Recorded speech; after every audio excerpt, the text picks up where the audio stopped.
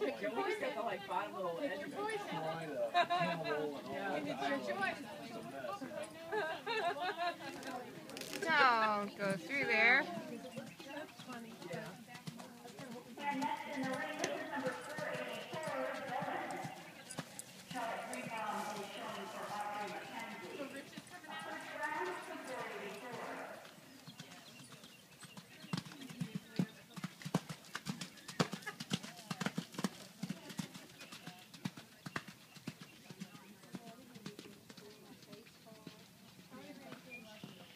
grandkids. Emma's going to be in lead line tomorrow. We have another little lead liner, Anna.